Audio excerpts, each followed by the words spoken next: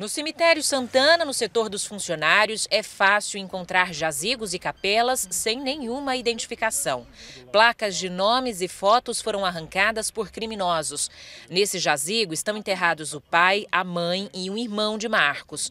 Antes, todas as placas estavam lá. Os lugares delas lá, ó.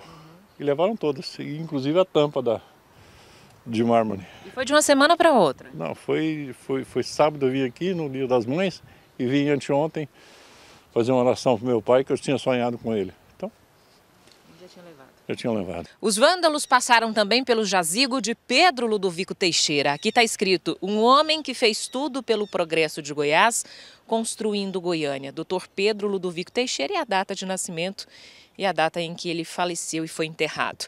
Aqui a gente consegue perceber que havia algumas fotos que foram retiradas, as plaquinhas com fotos, ali do outro lado também, de Josefina Ludovico. Aqui ainda ficou uma plaquinha com o nome e a foto de Paulo Borges Teixeira. E do lado de cá a gente vê somente as plaquinhas com os nomes de Gersina Borges, que foi a mulher de Pedro Ludovico Teixeira. Essas fotos tiveram que ser alteradas porque as primeiras que estavam aqui foram levadas. No cemitério mais antigo da capital, somente dois funcionários da prefeitura fazem a limpeza e a manutenção. Algumas famílias até pagam por esse serviço de forma particular, mas nenhuma dessas pessoas tem a obrigação de garantir a segurança do cemitério. Tem capela que virou dormitório, sabe-se lá para quem, como essa que tem papelão e almofada. Violar ou desrespeitar a sepultura de alguém é crime e pode dar cadeia de um a três anos, além de multa.